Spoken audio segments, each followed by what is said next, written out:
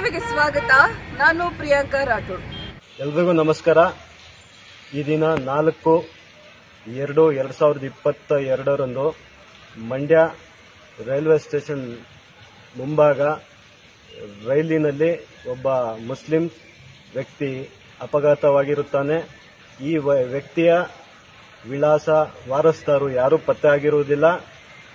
ಈ ವ್ಯಕ್ತಿಯ ಶವವನ್ನು ಮಂಡ್ಯ ಜಿಲ್ಲಾ ಆಸ್ಪತ್ರೆಯಲ್ಲಿ ಶವಗಾರದಲ್ಲಿ ಇರಿಸಲಾಗಿದೆ.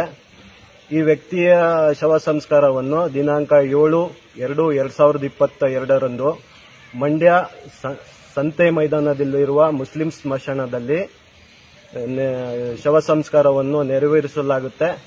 ಆದ, ಆದ್ದರಿಂದ ಎಲ್ಲರೂ ಕೂಡ ಈ ವ್ಯಕ್ತಿ ವಾರಸ್ ಸುಧಾರ ವಾರಸ್ದಾರರು ಪತ್ತೆ ಆಗಕ್ಕೆ ಸಹಕರಿಸಿ ಆದಷ್ಟು ಇದು ವಿಡಿಯೋನ ಶೇರ್ ಮಾಡಿ ಇವರ ವಾರಸ್ತರು ಪತ್ತೆ ಆಗಕ್ಕೆ ನೇರವಾಗಿ ಆ, ದಿನಾಂಕ ಏಳು ನಾಲ್ಕು ಎರಡು ಸಾವಿರದ ಇಪ್ಪತ್ತರಂದು ಇಪ್ಪತ್ತೆರಡರಂದು ಈ ವ್ಯಕ್ತಿ ಶವ ಸಂಸ್ಕಾರ ಮಾಡ ಮಾಡ್ತೀವಿ ಆದಷ್ಟು ಈ ವಿಡಿಯೋನ ಶೇರ್ ಮಾಡಿ